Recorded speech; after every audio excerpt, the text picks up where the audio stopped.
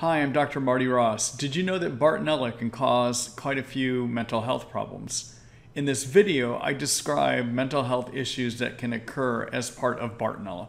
If you have further questions after you see the video, click on a link that I have to a full written article. It's included in the description for the video. Treat Lyme is supported by purchases you make through Marty Ross MD supplements. So, in the world of Lyme disease, when you see people that have um, mental health issues or mental health phenomenon, I guess I would call that. And I would say depersonalization, derealization falls in that realm, okay? The thing that many of us uh, are aware of is that when you see situations like that, that it's a valid thing to consider does the person have a Bartonella infection, all right?